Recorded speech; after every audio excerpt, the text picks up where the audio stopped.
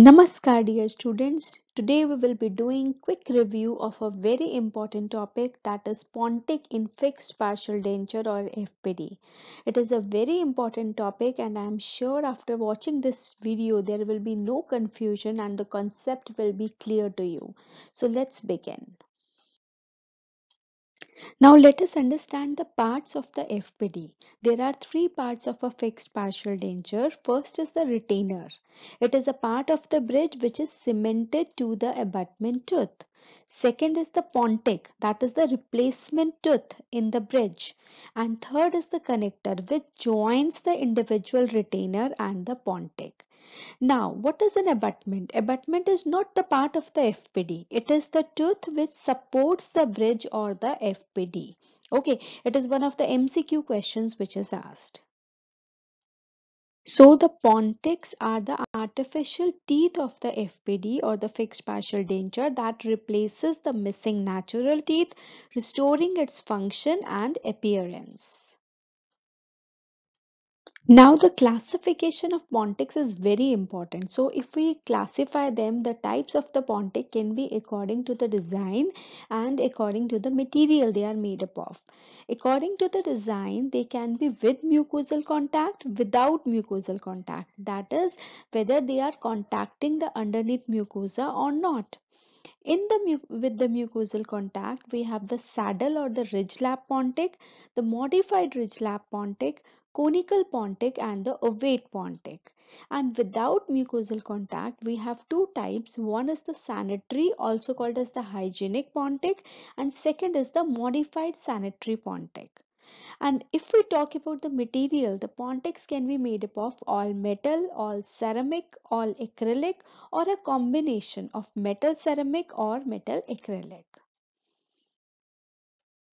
Now let us discuss the pontics with the mucosal contact.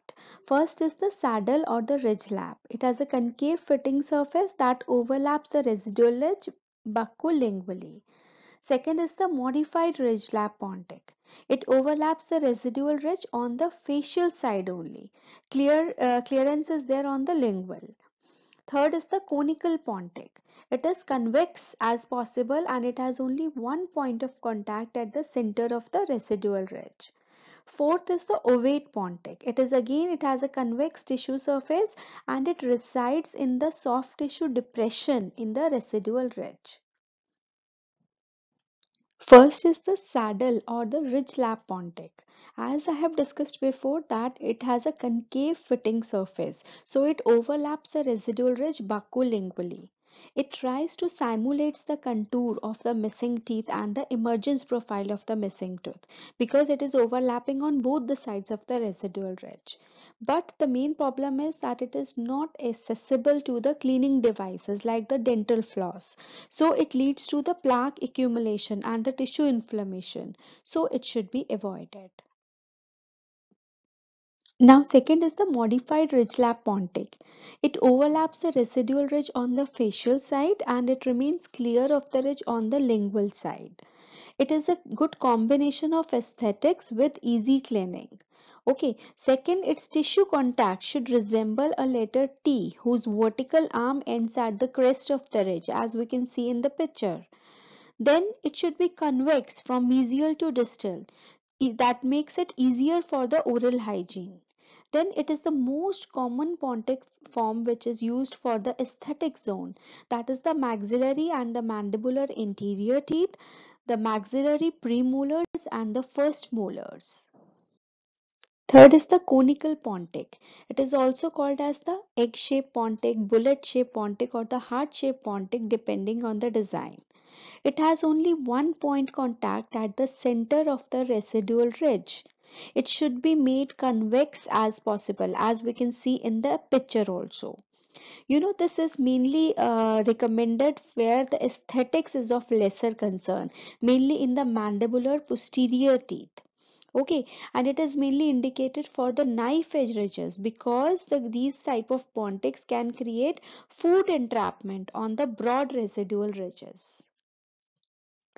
Now fourth is the ovate pontic Ovate pontic is the most aesthetically appealing pontic design. So where you find the word aesthetics, answer is ovate. It has a convex tissue surface which resides in a soft tissue depression or a hollow in the residual ridge. It makes it appear like the tooth is literally emerging from the gingiva okay giving the best uh, emergence profile. But it needs tissue management. That is the socket preservation technique. It is performed just following the immediate extraction and then the provisional placement. 1 to uh, 3 millimeter deep tissue recess is made depending on the amount of the keratinized gingiva available Okay, what are its advantages? Aesthetics, as I told, best emergence profile, strength because of its convex surface, and it is cleansable. Okay, due to the convex surface, it is accessible to the dental floss and the other devices. The disadvantages, the only disadvantage is the tissue preparation, that is the need for the surgical preparation, which can either be done immediately or it can be delayed. Now the pontics without mucosal contact. There can be two types of pontic. First is the sanitary or the fish belly and second is the modified sanitary or the pearl pontic. They are also called as the hygienic pontic. Why hygienic? Because they are the pontics which will have no contact with the edentulous ridge. They are kept 2 mm above the residual ridge as we can see in the picture. They are easy to maintain and clean because of this gap that we have kept between the ridge and the tissue surface of the pontic. But because of this gap, they are unesthetic. So they will be used in the non-appearance zone. For example, the mandibular molars. Now the occlusogingival thickness of the pontic should not be less than 3 mm for maintaining the strength of the pontic. Now, if, if individually we talk about the sanitary pontic, it has a all convex configuration, both faciolingually and the mesiodistally. So the pontic, it resembles the belly of the fish. So that is why it is also called as the fish belly pontic. The main disadvantage is that the size of connector is decreased in this. So the strength of the prosthesis is reduced. Now, if we talk about the modified sanitary or the pearl pontic, it is concave mesiodistally and convex faciolingually. The tissue surface of the pontic just appears like hyperbolic paraboloid. We can see in the image. Now the uh, demerit of the uh, sanitary pontic is overcome here. We see the size of the connector, it has increased. So this will increase the rigidity and durability of the design. Now, the, the, these points are very important for the multiple choice questions. Now we will quickly summarize all the pontic design. First we have the sanitary or the hygienic pontic. It is mainly indicated in the posterior mandible where the aesthetics are not concerned it has good access for hygiene. Okay they are very uh, cleansable but they have poor aesthetics.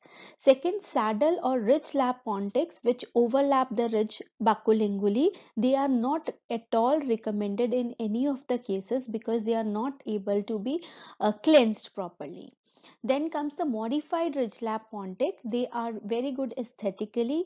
They are mainly given in interior teeth and the premolars and some maxillary molars also. They have good aesthetics. They are moderately easy to clean. Then comes the conical egg or the heart-shaped pontic. They are mainly given where aesthetics is not a concern, mainly in mandibular molars. They have good access for the oral hygiene, but they have poor aesthetics. Then comes the ovate pontic, which are the most aesthetic pontics in, uh, amongst the all. They are mainly given in maxillary incisors and premolars. They have superior aesthetics with negligible food entrapment, but the only disadvantage is that they require surgical preparation. Now the pontic design. Four things you have to consider when we are designing the pontic. First is the pontic ridge contact. There should be a pressure free contact between the pontic and the underlying tissues so that it will prevent ulceration and inflammation of the soft tissues. It should be checked during the trying stage that there is no blanching and if it is present then the pontic should be recontoured until the tissue contact is entirely passive. Second is the oral hygiene. We all know that FPD cannot be taken out of the mouth for daily cleansing. So it becomes very critical to clean the gingival surface of the pontic. And we also know that the bristles of the toothbrush is not accessible to all the surfaces of the pontic. So the devices like Proxa brushes, super floss, dental floss should be used and uh, the patient should be instructed how to use it. Then comes the Pontic material. The Pontic material that we are choosing should have good aesthetics. It should be biocompatible, rigid. It should be strong to withstand the occlusal forces. The glazed porcelain is considered as the best available Pontic material. It is one of the multiple choice question also. Now coming to the occlusal forces, we want to minimize the occlusal forces for the longevity of the FPD. So some of the authors have also considered reducing the buccolingual width of the Pontic uh, to as much as 30%, but still this is controversial. So what we conclude that Pontic must replace the missing tooth structure functionally, biologically and aesthetically. That's all for today. Thanks for watching dear students. Uh, I'm sure no more doubts now. Subscribe the channel if you are still new. Uh, like and share the video. You can give your topics in the comment section. I will try to cover them soon. I wish you all the success today and always.